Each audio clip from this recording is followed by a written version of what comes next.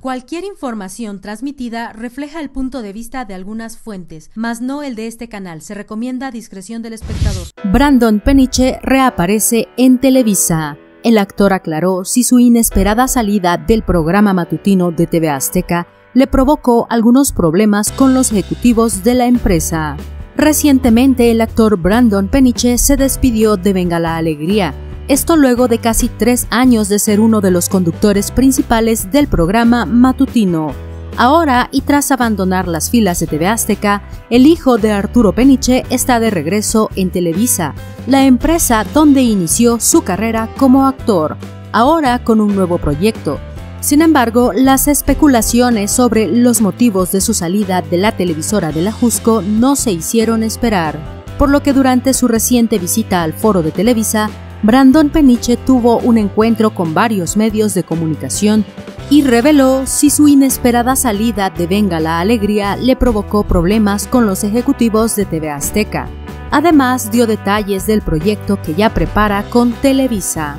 Me fui increíble, amo a mis jefes de allá, como lo puse, voy a buscar mi sueño, así que si no fuera por ellos yo no estaría aquí y es una realidad.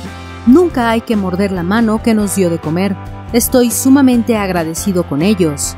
Y bueno, ahora estoy aquí, señaló el actor en su más reciente encuentro con los medios, entre ellos el periodista Eden Dorantes.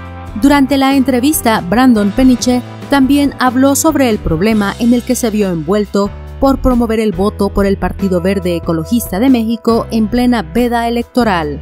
Sobre el tema, Brandon expresó, yo creo que todos tenemos la fortuna de poder tener libre expresión y poner lo que queremos y como fue uno de los miles videos que subo a diario, pues qué mal que se tomó de otra forma. El actor también fue cuestionado sobre si fue requerido por las autoridades tras violar la veda electoral. Para nada, como subo mil videos, fue uno más de ellos, y simplemente hablo de lo que para mí era importante, como siempre lo hago. Finalmente, y sobre su regreso a Televisa, Brandon Peniche señaló que volverá al mundo de las telenovelas de la mano del productor Ignacio Sada, con quien ya había trabajado en Un refugio para el amor, melodrama protagonizado por Suria Vega y Gabriel Soto. Regreso a mi casa bien contento, la verdad que muy agradecido con la vida, con lo que me está pasando, viene un proyecto muy importante para mí, es una telenovela con Nacho Sada, hicimos un refugio para el amor y nos fue increíble. Amo a esta producción, nos conocemos perfecto y entonces esperamos que nos vaya muy bien.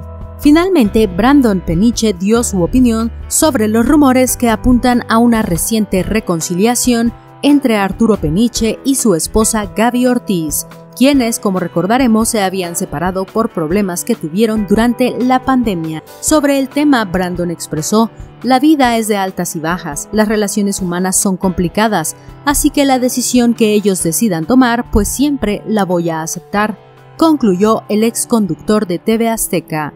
Suscríbete a nuestro canal y te espero en el siguiente video.